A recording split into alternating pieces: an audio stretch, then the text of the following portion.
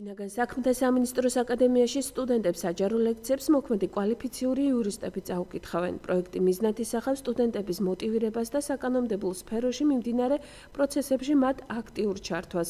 პირველი საჯარო ლექცია ბაკალავრიატისა და მაგისტრატურის სტუდენტებს საქართველოს უზენაესი სასამართლოს თავმჯდომარე ნინო გვენეტაძემ ჩაუტარა. ლექციაზე არასრულწლოვანთა მართლმსაჯულების საერთაშორისო პრინციპებსა და საქართველოს არასრულწლოვანთა მართლმსაჯულების კოდექსზე ისაუბრა. საუბრეს, რომელიც ძალაში 2016 წლის იანვრიდან შევიდა. შინაგან საქმეთა სამინისტროს აკადემიაში დღეს დაიწყო ახალი პროექტი საჯარო ლექციები მაგისტრატურის და ბაკალავრიატის სტუდენტებისთვის, ასევე აკადემიის პერსონალისა და ნებისმიერი დაინტერესებული მსმენელისთვის, ვინც აკადემიის სასწავლო პროცესში ღებულობს მონაწილეობას.